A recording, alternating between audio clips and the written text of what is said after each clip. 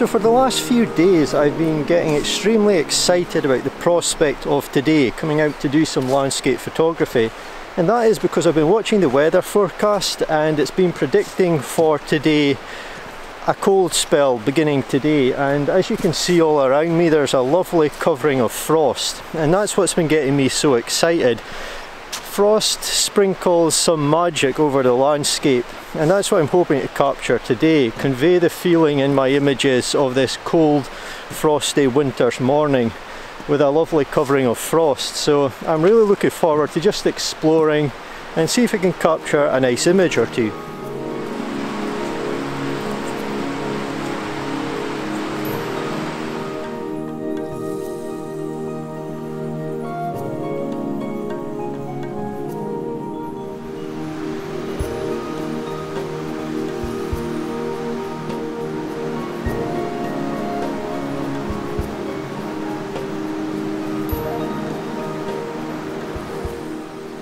So I found something here that I'm really pleased with. I've got my composition set up and I'm pointing upstream and the composition's got a lot of the elements that I wanted to capture today. It's got the look of a cold winter scene, there's frost on some of the rocks and there's actually ice on the river itself so I'm really pleased about that.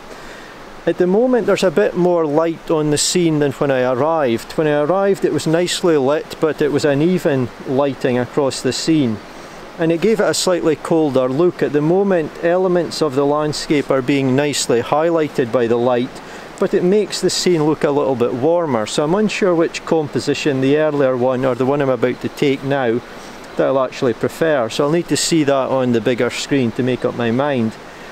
But we've got the elements I talked about earlier, the look of the cold winter's day and the ice is actually frozen on the river creating a wonderful curve and it just leads your eye off up into the nice trees in the distance. I'm doing a long exposure. Earlier on it was about a minute 35 seconds but at the moment with the light it's down to about a minute and that's just capturing some of the nice patterns as the river flows off into the distance. But I really like it. There's some really interesting trees as well which I'm including in my composition and the rocks over at the left have got some nice cold frost on them. So I really like it.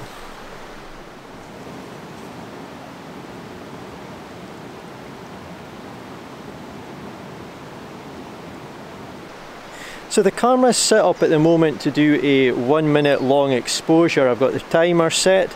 On the front of the camera is my polarizer and underneath my cloth is a 10 stop ND filter.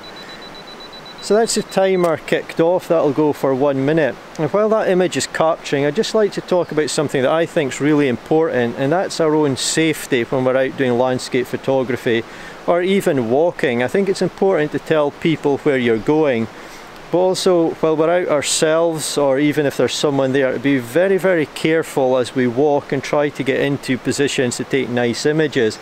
We're all keen to capture lovely images of course we are but I think you have to be very mindful of your own safety. Ice rocks frost it can all be treacherous. You can be walking along and then the next minute you end up in your back. It can be really really dangerous the coast is another treacherous place. Some rocks are almost as if they're covered in oil. You just step onto one and there's no way you can keep your footing.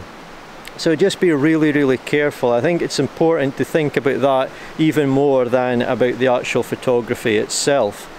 But this image should almost be captured now. Here it is. The histogram is perfect, no clipping at either end. The image looks really nice. I won't know which one I prefer until I get home. The image I've just captured with some more light on it or the more even lighting earlier but I hope you like it regardless of my preference.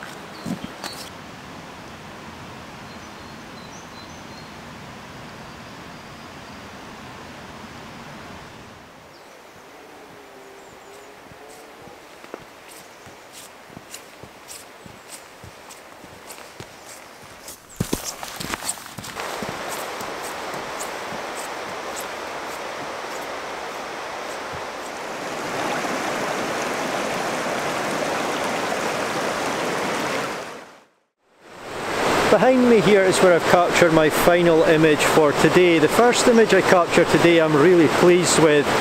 It took in a significant area in terms from left to right and also extended off into the distance to the trees. So it's getting quite an area on that shot. I've been looking and spending a lot of time looking for something very specific.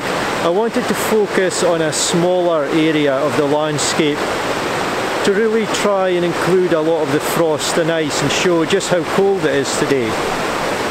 And off in the, the distance here behind me, I think I've managed to achieve that. I was drawn to this particular area because of the rocks in the centre of the river. They've got some wonderful frost and ice on them. There's quite a large rock. Once you look at it in a bit more detail, you can actually see there's some grass on it too. And we've got a really nice shaped rock just down to the left from it with some really nice curves and some ice hanging off it going into the water. So you can feel the coldness of the scene. Then over at the far bank we've got a really old tree which has been stripped of its leaves because it's winter. And there's a branch coming out from that extending over the river and it's got a very nice covering of frost on it too. I'm using the polarizer which is darkening down the river, taking off the glare, and that's providing wonderful contrast with the lighter white of the frost. Also at the far side of the river we've got some warmer tones in the grass etc which is a really nice contrast to the frost and ice and I'm using the telephoto lens. As I said, I wanted to show a bit more of the finer details and take in a smaller area. So I'm at 100 millimeters, which is really focused on a, a specific area of the landscape.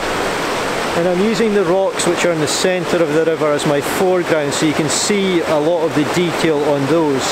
It's also bringing in that nice tree and the grass etc at the far side so you can see the details and I think this is exactly what I was looking for to complement the first shot that I got today. I've spent a lot of time here. You can maybe see my breath, I don't know, but I can see it at times. It's very cold. And I think I've captured that in this scene. So I'm really pleased with this image and the first one that I managed to get today. But that's it for this particular vlog. As always, I hope you've enjoyed watching. Thank you so much for your time and hopefully I'll see you in my next one.